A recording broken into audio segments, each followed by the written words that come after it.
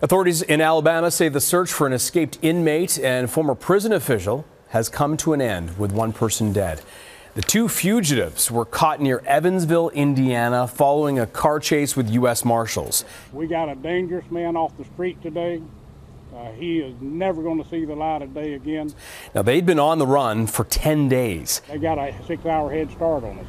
They had plenty of resources, had cash, had vehicles, had everything they needed to pull this off.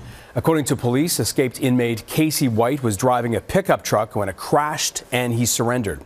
We gained information that a vehicle matching the description of a suspect vehicle was near our sheriff's office. My first thought, oh my God, this could be this guy from Alabama. And you know, they can't travel separate. They're like this. She's short, he's tall. They're going to stick out like a sore thumb. They came through this grassy area. Uh, the, the Marshal Task Force officers intercepted them, actually collided with them to try to end the pursuit.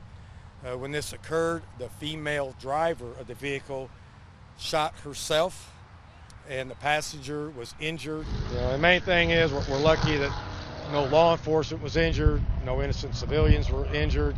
The pursuit was short in nature. Police say Vicky White, a former Alabama corrections officer, died of a self-inflicted gunshot wound. The two are not related, but are believed to have developed a romantic relationship. She has been an exemplary employee. And what in the world provoked her or prompted her to pull a stunt like this, I don't know. I don't know if we'll ever know.